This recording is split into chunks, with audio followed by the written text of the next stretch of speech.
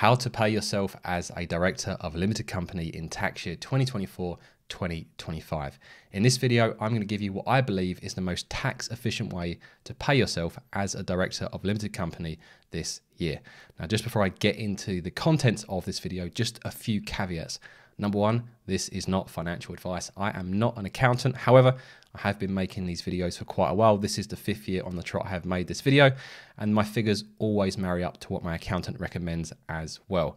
Now, just before I show you the figures themselves, I'm going to talk about all of the elements you guys need to consider, because if you're going to trust some random guy off YouTube to give you advice about which way to pay yourself, at the very least, I can show you how I arrive at my calculations. So let's get into the video. Up first, I want to talk about income tax and the new thresholds for this tax year.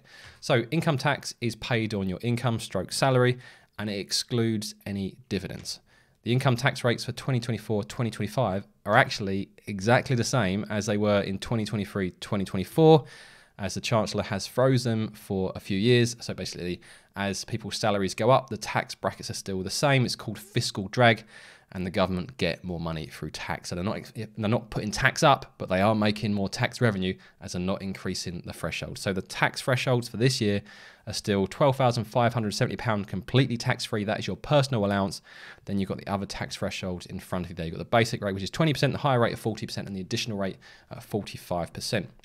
Now, one thing to keep in mind if you are lucky enough to earn over £100,000, you will lose £1 of personal allowance for every £2 you earn over £100,000. So by the time you've earned about £125,000, you will have completely lost your personal allowance, which means the money you earn between £100,000 and £125,000, you're effectively paying a 60% tax on.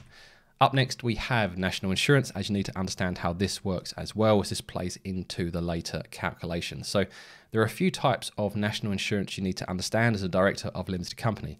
Up first, you have the LEL, which is the lower earnings limit. Now, I call this the state pension threshold, as if you earn above this, you will qualify for your state pension token, and if you get enough of those over the years, then you'll qualify for a full state pension when you retire. So the threshold for this year, again, is frozen as it was in 2023 2024 at £6,396 per year. So as long as you earn above that over the tax year, you will qualify for your state pension. You then have the primary threshold, and this is the point that employees, so you're an employee of your limited company, that is the point that you would start paying national insurance.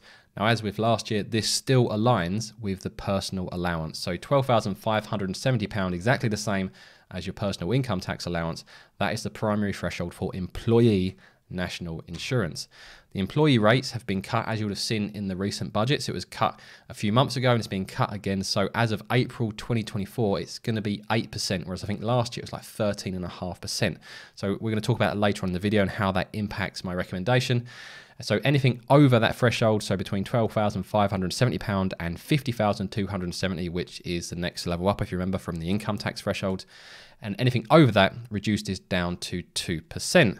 We then have the secondary threshold, which is when employers, so the actual business, starts paying national insurance as well. So when someone's paying national insurance, the employee is paying it, and also the employer, the business, is paying national insurance. Now this has a different threshold. This is £9,100 per year. So as soon as an employee is earning above that level, the business itself starts paying national insurance and the employer NI rate is 13.8%, and this hasn't changed. And one of the big differences between employer and employee national insurance is over that £50,000 threshold. There is no reduction to 2%, it just continues at 13.8%. And when you combine those together, you are potentially paying as a business and yourself, because it's your business, you're paying 8% in employees' national insurance plus 13.8% employers' national insurance, which is 21.8%. This is why we pay ourselves a particular way to avoid this trap. We then have corporation tax as this comes into the equation as well. This is payable against net profits made by a limited company. So it's not about your turnover, it's about how much profit you have left, and then that's what you pay the tax on. There are allowable business expenses that can be offset against the profits, and this will reduce your corporation tax liability. So your salary and your employer's national insurance are allowable business expenses. Corporation tax rates for 2024 2025 are exactly the same as they were last year. If you're making less than £50,000 per year profit, that is the small profits rate of 19%. Anywhere between £50,000 and £250,000, you get marginal relief, and then above £250,000, it is 25%. And then finally, we have dividends, as this is going to be the second way you pay yourself in addition to the recommended salary that I'm going to give you shortly. So, dividends are only payable to shareholders from profits or retained profits from previous years. So, if your company isn't making any money, don't start paying yourself dividends unless you've got retained profits from previous tax years.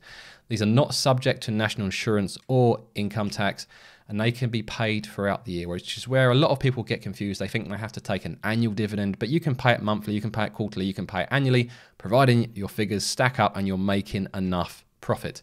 Tax is paid via self assessment. So, with income tax and national insurance, you're probably going to be paying it on a monthly basis, whereas with dividends, you'd do your self assessments and you'd pay that on an annual basis. There is a tax-free dividend allowance this year of only £500. They keep reducing this. This was previously £1,000 last year, and it was above that the years before, and above that again the year before. So they keep bringing it down, and we're down to £500 at the moment. And the dividend tax rates for 2024 2025 are as follows. So again, these marry up basically with the income tax thresholds. The only difference being the first one here, where I've got £13,071. What I've done is I've added that £500 tax free dividend allowance to that £12,570 personal tax allowance. That's why I start from here. So that's how much you need to earn before you start paying any dividend tax. Just one final note you see I've got here plus unused personal allowance. So if you paid yourself less than the personal allowance, you can take the rest of that money as tax-free dividends instead. So that's dividends covered. Now, before I get into the actual salary, which is going to come on the next slide, if you're finding this video helpful, I'd appreciate you hit the like button. And if you want to see more videos from me, please subscribe to the channel. So my recommended director salary for 2024-2025 is as follows. £1,047.50 per month, which is £12,570 per year. And then anything above that you will pay yourself with dividends and pay dividend tax on that. So what we discussed previously, that is how you'd pay yourself if you want to earn above this every month or per year. So the reason I want you to pay yourself this way is it uses your full personal allowance. So up to £12,570 per year, you do not pay any income tax. It's above the LEL, the lower earnings limit national insurance threshold to qualify for the state pension and it's below the primary NI threshold. So that's the point at which employees would start paying national insurance. So you don't pay any employee national insurance, but it is above the secondary NI threshold. So you're as an employer, your business will pay some national insurance. So from 9,100, which is the secondary threshold, to 12,570 pound, which is how much you're going to be paying yourself per year as a basic salary, you'll be paying that at 13.8%, which is 478 pound per year you'll be paying on national insurance. Now, your national insurance payments are an allowable business expense. So actually, you save 19% of that in corporation tax, which is £91. So actually, you're paying less than £400 in national insurance. So this is why it's still a good way to pay yourself. And these NI payments will need to be made to the HMRC either monthly or quarterly. Sorry to interrupt the video, guys. As I was editing the video, I realized there are a couple of points that I didn't make overly clear in the video. The first one is you might be wondering, why don't we just pay ourselves £9,100 to avoid having to pay this national insurance?